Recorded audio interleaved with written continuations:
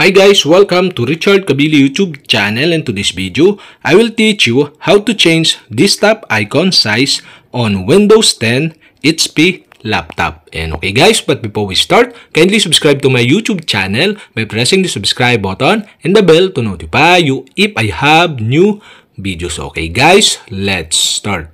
So okay guys, on your screen, put the arrow and right click on your mouse and go to view.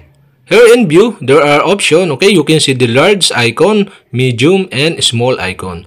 So the icon is set into small. So I change into medium and I change to large.